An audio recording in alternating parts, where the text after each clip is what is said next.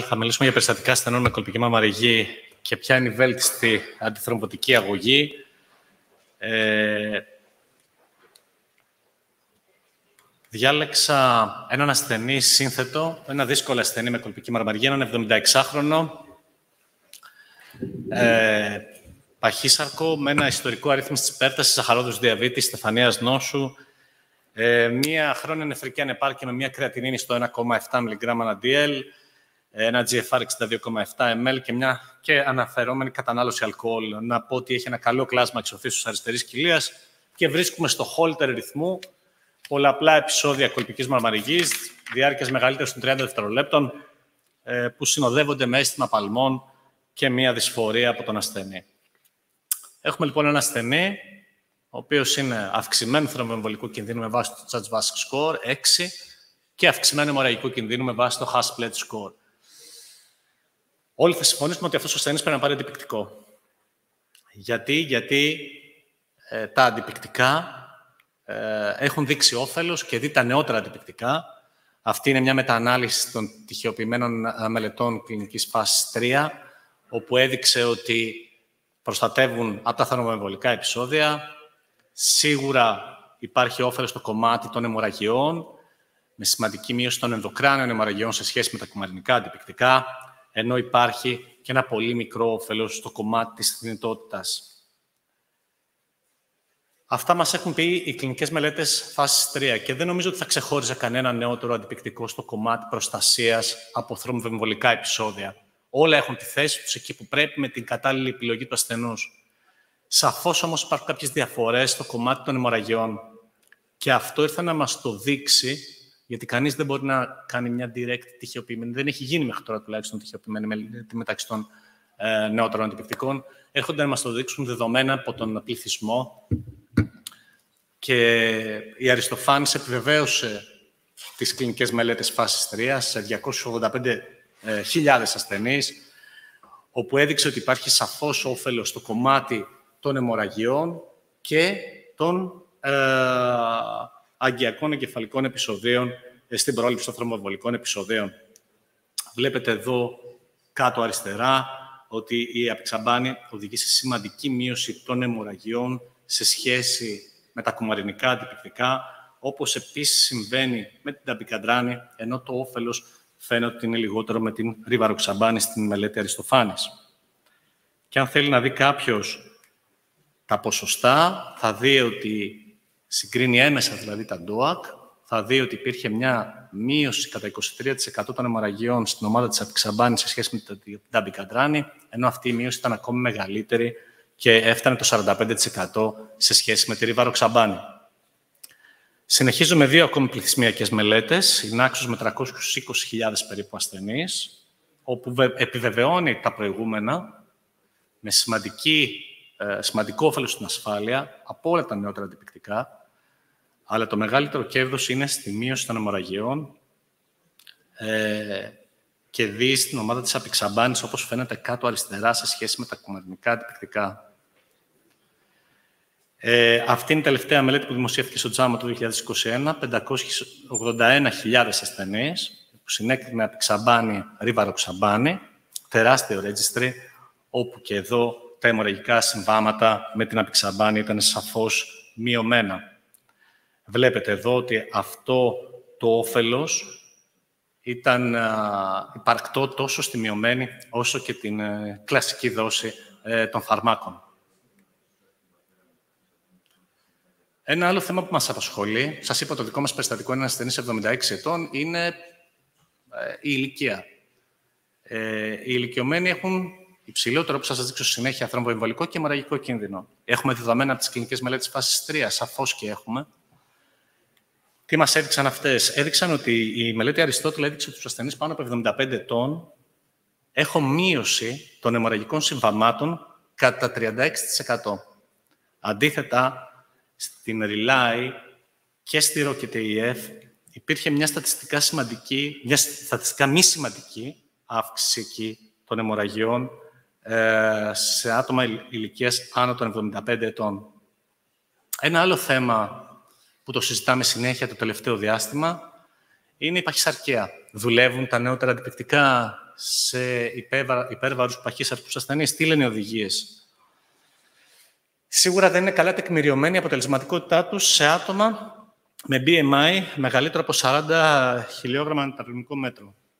Αυτό είναι ε, κλασική γνώση. Από εκεί και πέρα, η, τα guidelines στη ΣΥΡΑ το 2021 δίνουν ότι είναι ασφαλή μέχρι αυτό το νούμερο, το 40. Από εκεί και πέρα δεν έχουμε δεδομένα για πάνω από 40. Κάνει μια σύσταση για επίπεδα του φαρμάκου, ειδικά σε ασθενείς που έχουν BMI μεγαλύτερο από 50, όπως ακούσατε και σε προηγούμενες ομιλίες, κανείς δεν κάνει επίπεδα φαρμάκου, να μετρήσει δηλαδή τα επίπεδα των DOAC. Έμεση πληροφορία μπορεί να πάρει κανείς με τους χρόνους PT, APTT, το Diluted Thrombin Time, ανάλογα με το αντιπικτικό που χρησιμοποιεί για την αποτελεσματικότητα. Και η International Society of Thrombosis and ε, προτείνει κουμαρινικά αντιπικτικά για τους ασθενείς που έχουν BMI μεγαλύτερο από 40 ε, ε, χιλιόγραμμα ανατραγωνικό μέτρο επιφανείας. Σαφώς και υπάρχουν δεδομένα για παχύσαρκους ασθενείς, ε, απλά δεν είναι σε μεγάλο αριθμό. Αν θυμάμαι καλά, ε, στην Αριστότελη ήταν περισσότεροι από χίλιοι ασθενείς με BMI μεγαλύτερο από 40. Ε, αυτή είναι άλλη μελέτη στο Lancet, ε, όπου δείχνει ότι και η ριβαροξαμπάνη και η άπηξαμπάνη είναι ασφαλή φάρμακα σε τέτοιους ασθενείς με BMI πάνω από 40. Αυτή είναι μια άλλη μελέτη το 2019 στο Circulation, όπου δείχνει ότι η απεξαμπάνη είναι ασφαλής και αποτελεσματική σε ασθενείς με BMI μεγαλύτερο από 40. Δείτε εδώ, ε, κάποιος, κάποιοι χρησιμοποιούν το BMI πάνω από 40, κάποιοι χρησιμοποιούν τα 120 κιλά, αυτό ξέχασα να το πω, σαν ε, παχύς ασθενής. Ε, δείτε εδώ ότι υπάρχει όφελος στη μείωση των θρομβεμβολικών επεισοδίων, ιδιαίτερα στους ασθενείς που είναι ε, παχύσαρκοι, ενώ δεν υπάρχει αύξηση των αιμορραγιών σε σχέση με τα κουμαρινικά αντιπικτικά. Πάντα δηλαδή, τόσο στους λιποβαρείς όσο και στους παχύσαρκους, ε, η απεξαμπάνη έχει ευνοϊκό προφίλ στο κομμάτι των αιμορραγιών. Όπως σας είπα, έχει ένα GFR 62,7, έχει μια νεφρική ανεπάρκεια στα 2,2. Ξέρετε όλοι ότι αυτοί οι ασθενείς, το ακούσατε και προηγουμένως, είναι αυξημένου θρομβεμβολικού και αιμορραγικού κινδύνου. Θυμόμαστε πάντα ότι η νεφρική λειτουργία επιδεινώνεται σε αυτούς τους ασθενείς σε βάθος χρόνου. Άρα θα πρέπει να το κρατάμε. Μεταβάλλεται λίγο το GFR των ασθενών αυτών. Άρα πρέπει να είμαστε πάρα πολύ προσεκτικοί στη διαχείριση των αρρώστων. Ξέρουμε όλοι πώς μπαίνουν τα νεότερα αντιπικτικά, ακολουθούμε όλοι τις οδηγίες. Ε, είμαστε πολύ προσεκτικοί, δηλαδή, στη σωστή δόση του φαρμάκου ανάλογα με την νεφρική λειτουργία. Και υπάρχουν αρκετά δεδομένα πια για όλα τα νεότερα αντιπικτικά ότι είναι ε, αποτελεσματικά και ασφαλής ασθενής με νεφρική ανεπάρκεια.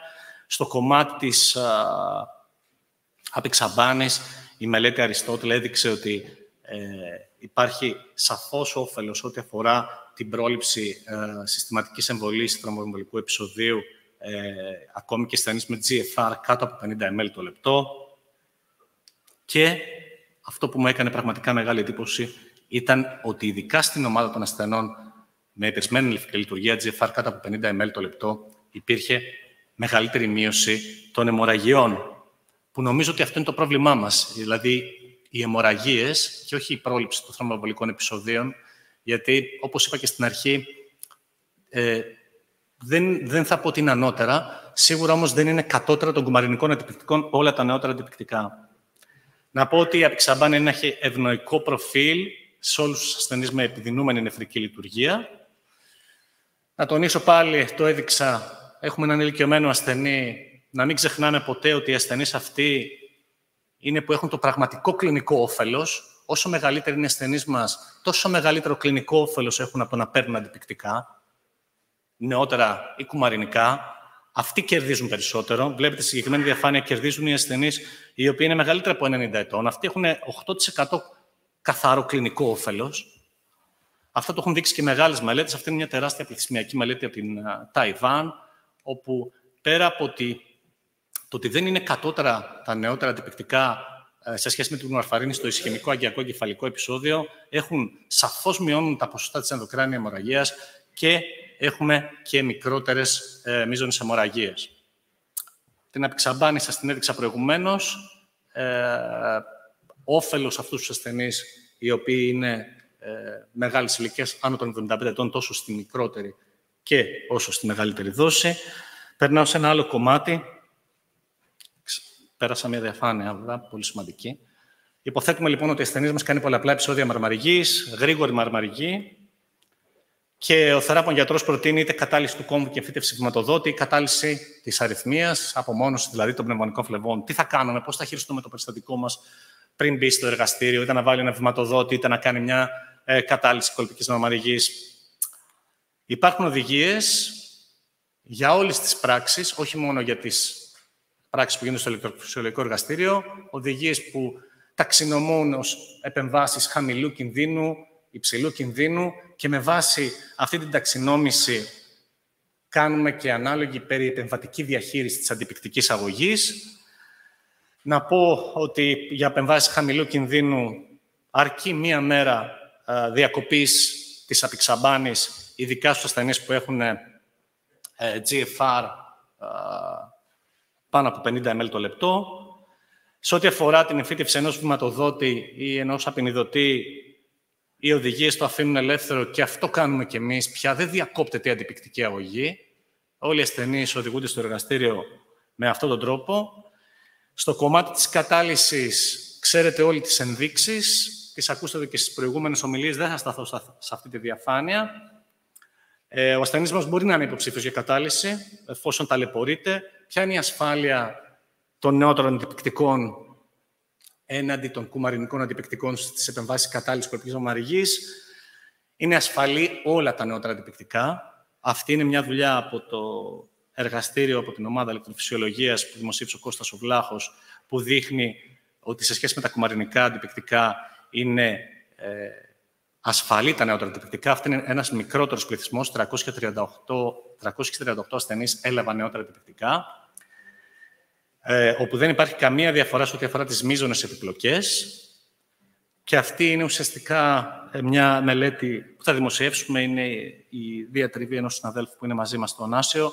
Είναι πλέον από 2.000 ασθενείς, περισσότεροι από 1.805 ασθενείς με νεότερα αντιπικτικά. Να σας δείξω ότι είναι απόλυτα ασφαλή στην περιβαλλοντική διαχείριση για προστασία θρομβομβολικών επεισοδίων. Αυτό που μου άρεσε όμως περισσότερο είναι ε, ότι πια μπορούμε να έχουμε και μια εικόνα για τη έμεση σύγκριση των νεότερων αντιπληκτικών με την απεξαμπάνη και την ταμπικαντράνη να έχουν ένα ευνοϊκότερο προφίλ σε σχέση με την βαροξαμπάνη. Ε, η Αξάφα FNET Trial επιβεβαίωσε αυτά που σας είπα, ότι είναι η μελέτη της απεξαμπάνης στην κατάλυση κολπικής μαμαριγής. Ε, στο κομμάτι των επιπλοκών δεν είχαμε καμία διαφορά. Αυτό που είχε ενδιαφέρον στη μελέτη ήταν οι οξύες βλάβες που προκαλούνται μετά το ablation. Ε, όλα τα περιστατικά υποβλήθηκαν σε μαγνητική τομογραφία εγκεφάλου και εκεί αυτές οι μικροαγγειακές βλάβες που προκαλούνται δεν διέφεραν στην ομάδα της απεξαμπάνης και στην ομάδα των κουμαρινικών αντιπικτικών. Τα ίδια επιβεβαίωσε και η μελέτη αυτή, προοπτική μελέτη, που είπε ότι δεν υπάρχει καμία διαφορά στο να μην πάρει την προηγούμενη δόση ή να πάρει ακόμη και την προηγούμενη και την, και την ε, δόση τις ημέρες που θα γίνει η επέμβαση, γιατί αυτό που συνήθως γίνεται είναι ε, να διακοπεί η αντιπικτική αγωγή, όπως θα σας πω, για, ένα, ε, για 12 ώρες. Σε αυτή τη μελέτη δόθηκε και η πρωινή δόση της ατυξαμπάνης και δεν υπήρχε καμία διαφορά στο κομμάτι ε, ασφάλειας ε, των ασθενών, στο κομμάτι αιμορραγιών επιπλοκών. Τι λένε οι οδηγίες, για να κλείσω σιγά σιγά την ομιλία. Όλοι οι ασθενείς μας θα πρέπει να παίρνουν, που υποβάλλονται σε κατάλυση, πρόκειται να υποβληθούν σε κατάλυση, θα πρέπει να λάβουν αντιπικτική αγωγή πριν την κατάλυση. Εναλλακτικά, θα πρέπει να γίνει διεισοφάγιο περιχογράφημα για να αποκλειστεί η παρουσία θρόμβου. Ε, προτείνουν και εδώ τη μη διακοπτόμενη αντιπικτική αγωγή κατά τη διάρκεια της πράξης, και από εκεί και πέρα θα λάβουν για δύο μήνες μετά την κατάλυση και αναλόγως με το Charge Vask Score ή σε μακροχρόνια η διακοπή. Κρατήστε αυτό ότι μάλλον για 12 ώρες είναι καλή επιλογή να διακόψουμε την αντιπικτική αγωγή, αν μιλάμε για την απεξαμπάνη, αν και σας είπα με την τελευταία μελέτη μπορεί να πάρει και την πρωινή δόση, και αν έχω έναν πολύ υψηλού θρομβοεμβοτικού θρομβοεμβολικού κινδύνου ασθενή, μπορώ να μικρύνω αυτό το διάστημα, να το φέρω στις 6 ώρες. Τέλος, ε, αν και έχω δύο-τρία πράγματα ακόμη να σας πω, εμφανίζει ο ασθενής μας ένα αγκιακό εγκεφαλικό επεισόδιο υπό αντιπεκτική αγωγή. Η συχνότερη αιτία που εμφανίζουν οι ασθενείς μας εγκεφαλικά επεισόδια υπό αντιπεκτική αγωγή είναι κακή συμμόρφωση. Η διακοπτόμενη θεραπεία. Αυτή είναι η συχνότερη αιτία. Δεν είναι ότι δεν δουλεύουν τα αντιπικτικά. Είναι ότι ο ασθενή μας δεν είναι καλά συμμορφωμένος. Και οι βασικές αιτίες κακής συμμόρφωσης είναι οι νέοι δεν ασχολούνται ιδιαίτερα, το χαμηλό κοινωνικο-οικονομικό προφίλ, η κακή ενημέρωση, ο φόβος για την αιμορραγία, οι συνοσυρότητες, ψυχιατρικές νόσοι και η κατανάλωση του αλκοόλ. Γενικά, τα ποσοστά συμμόρφωσης κινούνται μεταξύ 65% και 75%. Α, νομίζω ότι η καλύτερη μελέτη είναι αυτή που δημοσιεύτηκε στο Circulation το 2020. Είναι μια ανάλυση δεδομένων ε, real-world data, ε, όπου η, η συμμόρφωση άγγιξε το 66% και το persistence, δηλαδή η συνέχιση της θεραπείας, το 69%. Να σας πω άλλη μελέτη, την οποία δεν την αναφέρω, όπου το συνδυασμένο σημείο συμμόρφωσης και συνεχούς θεραπείας άγγιζε το 40%, πολύ χαμηλά. Ακόμη και σήμερα, δηλαδή με τα νεότερα αντιπληκτικά, ενώ κατηγορούμε τα κουμαρινικά, έχουμε πολύ χαμηλά ποσοστά συμμόρφωσης. Ποιο ήταν το αποτέλεσμα της κακής συμμόρφωσης; Ποιο είναι το αποτέλεσμα της κακής συμμόρφωσης και της α, διακοπτόμενης θεραπείας; Η αύξηση κατά 40% σε αυτούς τους ασθενείς των αγκιακών εγκεφαλικών επεισοδίων. Αυτοί δηλαδή που δεν συμμορφώνονται, υπάρχει μια αύξηση του ποσοστού κατά 40% και αυτό για μένα είναι πολύ σημαντικό, για να μην πω τραγικό. Ποιοι είναι αυτοί που δεν συμμορφώνονται, είναι αυτοί που φοβόμαστε περισσότερο. Οι ηλικιωμένοι, οι διαβητικοί, οι υπερτασικοί, αυτοί που έχουν παράγοντες κινδύνου. Άρα λοιπόν ελέγχουμε τακτικά αν οι ασθενείς μας λαμβάνουν την αντιπικτική αγωγή και υπάρχουν διάφοροι τρόποι. Ο φαρμακοποιός μπορεί να βοηθήσει από την πλευρά του, ηλεκτρονικά συστήματα. Ε, μπορούμε να παρακολουθούμε τον ασθενή ότι λαμβάνει την αντιπικτική αγωγή. Και δύο διαφάνειες για τους υποθεραπευόμενους και ασθενείς που δεν λαμβάνουν σωστά την αντιπικτική αγωγή. Αυτό συμβαίνει σε ένα ποσοστό 10% περίπου για τα νεότερα αντιπληκτικά με βάση την Orbit AF2 trial. Ε, τι σημαίνει υποδοσολόγηση, σημαίνει, δεν, σημαίνει, δεν προστατεύαμε από θρομβοεμβολικά επεισόδια. Αυτό θα πρέπει να το κρατήσουμε. Άρα λοιπόν, ανεξάρτητα με το αντιπληκτικό που χρησιμοποιώ, πρέπει να δίνω πάντα τη σωστή δόση. Και σε ό,τι αφορά την απεξαμπάνη, να τονίσω ότι ε, τα, τα κριτήρια χαμηλής δόσης, τα δύο από τα τρία που όλοι γνωρίζετε, όπως είναι το σωματικό βάρος κάτω από 60, η ηλικία μεγαλύτερη από 80 ή η υψηλή κρεατινίνη, μεγαλύτερη από 1,5 μιλιγκράμμα DL, θα πρέπει να πληρούνται δύο από αυτά τα τρία κριτήρια για να έρθουμε στη μείωση του φαρμάκου. Σε, σε καμία περίπτωση δεν χρησιμοποιούμε τη χαμηλή δόση αν έχουμε ένα από τα τρία κριτήρια, γιατί δείτε στη διαφάνεια ποιο όφελος έχει η ηλικία μεγαλύτερη των 80 για να πάρει απεξαμπάνη σε σχέση με τα κουμαρινικά αντιπληκτικά. Είναι τεράστιο το όφελος. Στους λιποβαρείς το ίδιο, στους νεφροπαθείς το ίδιο. Άρα λοιπόν χρησιμοποιώ τη σωστή δόση και επειδή σας έδειξα ένα πολύ σύνθετο περιστατικό, κλείνω με αυτή τη διαφάνεια, τροποποιώ παράγοντες κινδύνου για να φτιάξω και τη μαρμαριγή αυτού του ασθενούς και να μην χρειαστεί να έρθει στο εργαστήριο ηλεκτροφυσιολογίας. Σας ευχαριστώ πολύ.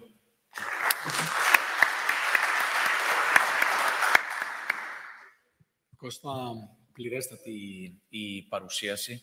Ε, εγώ θα σταθώ στην ε, και στις τελευταίες διαφάνειες σου σχετικά με, το, με την υποδοσολόγηση που έχουμε, που είναι ένα συχνό φαινόμενο ε, στην, στην Ελλάδα. Βλέπουμε πολύ συχνά ε, χαμηλές δοσολογίες και στα τρία ε, DOAX, ιδιαίτερα όμως την απεξαμπάνη, είναι νομίζω ένα, ένα θέμα το οποίο πρέπει να το προσέξουμε πολύ.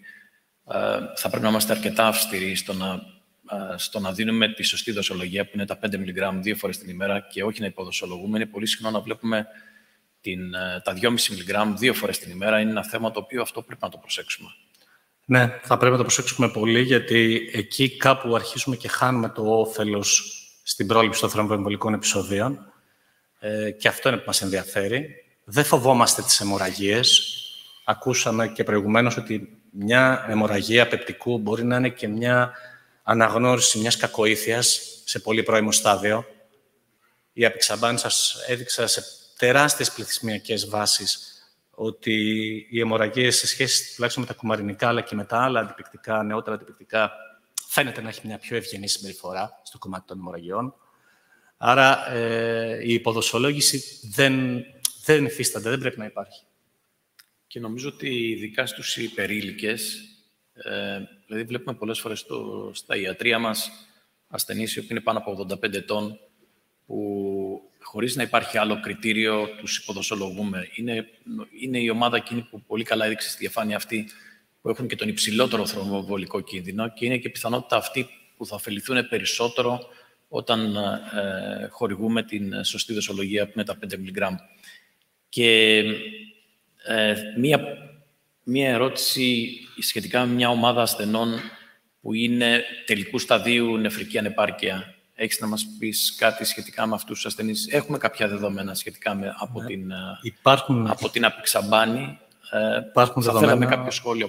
Για υπάρχουν δεδομένα από την απεξαμπάνη και την ριβαροξαμπάνη. Τα δύο αυτά φάρμακα έχουν πάρει έγκριση από τον FDA για τελικού σταδίου ασθενείς με καρδιακή ανεπάρκεια. Υπάρχουν αρκετά δεδομένα με την απεξαμπάνη, ακόμη και στην μεγάλη δόση του φαρμάκου, δηλαδή τελικού σταδίου, που παίρνουν 5 mg δύση ακόμη και σε αυτούς τους ασθενείς που λαμβάνουν τη μεγάλη δόση, υπήρχε μείωση των αιμορραγικών συμβαμάτων. Σημαντική μείωση των αιμορραγικών συμβαμάτων σε σχέση με τα κουμαρινικά αντιπικτικά. Ναι, έχουμε αρκετά. Νομίζω ότι υπάρχουν δεδομένα πια, αλλά είναι, ε, ακόμα περιμένουμε και την έγκριση από τον Ευρωπαϊκό Οργανισμό Φαρμάκων. Ε, κάποια ερώτηση από το κοινό; Ε, σχετικά με την ε, Επίσης, επειδή μίλησες για τα επεμβατικά, της, ε, ε, την περιεπεμβατική ε, προσέγγιση των ασθενών, ε, ένα σχόλιο σχετικά με τους ασθενείς που δεν, δεν, είναι, δεν κάνουν κατάλυση κολπισμαργής, αλλά έρχονται στο, στο, στα ιατρία μας και στο εργαστήριο για να κάνουν καταλύσεις κοιλιακών αριθμίων. ναι. Έχουμε κάποια στοιχεία σχετικά με τους ασθενείς αυτούς. Πώς Κοιτάξτε. Μάλλον καλύτερα να τους διαχειριζόμαστε. Ναι, αυτό ναι. που κάνουμε μέχρι τώρα; Ε, αυτό που κάναμε μέχρι τώρα είναι στις καταλύσεις των κοιλιακών ταχυκαρδιών να δίνουμε αντιαιμοπεταλιακά μετά την πράξη. Ε, υπάρχουν ωστόσο δεδομένα ε, ότι τα αντιπικτικά ε, μετά την κατάλυση της κοιλιακής ταχυκαρδίας ή, εν πάση περιπτώσει, για να μην μείνω μόνο στην κοιλιακή ταχυκαρδία, μετά ο χειρισμούς στην αριστερή κοιλία, ε, είτε είναι αυτές είτε είναι έκτακτες, είναι κοιλιακή ταχυκαρδία, ε, ε, έχουν ευνοϊκότερο προφίλ στη μείωση των θρομποεμβολικών επεισοδίων σε σχέση με τα δημοπεταλιακά. Okay. Ε, κάποιο ερώτημα; Δεν έχουμε. Λοιπόν, ε, κλείνουμε την παρουσίαση αυτή. Κώστα, ευχαριστούμε πάρα πολύ. Να ευχαριστήσω και την ε, Pfizer ξανά για την ε, ε, για την υποστήριξή της. Ε, προχωράμε στο επόμενο τραπέζι, γιατί έχουμε ε, καθυστερήσει. Κύριε Καρατζόπουλε, θα ξεκινήσετε.